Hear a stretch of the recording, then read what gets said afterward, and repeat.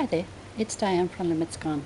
Um, it's day 11 of my challenge in I Am Transformation and today we have to share somebody who has inspired us or is a mentor to us in, in our lives.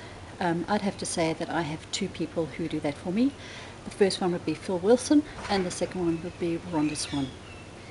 Now Phil is a carpenter who comes from New Zealand.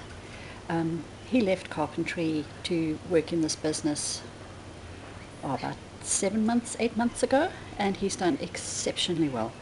Um, he's currently in Panama with Rhonda. Um, so, hi guys.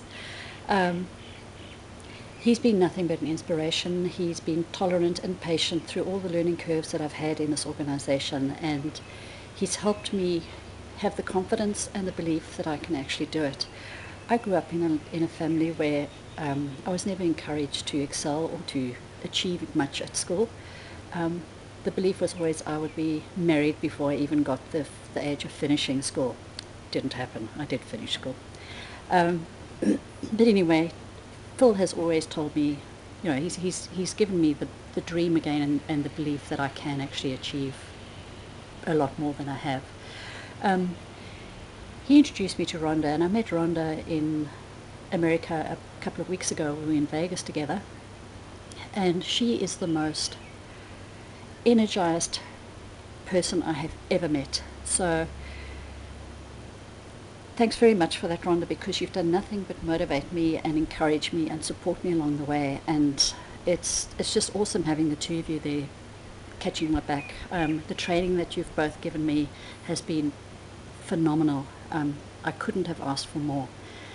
Uh, the support and the giving me the confidence and the ability to believe in myself again is fantastic. So thank you. Um, so if anyone else is interested who's watching this in joining us in our adventures in this business, please feel free to either contact me on Facebook, send me a message and let me know that you would be interested. Otherwise, just click on one of the links on my blog um, and it'll take you through and register. Just give us into your email and I'll be in touch. So thanks very much for that, um, and we'll see you on day 12. Bye for now.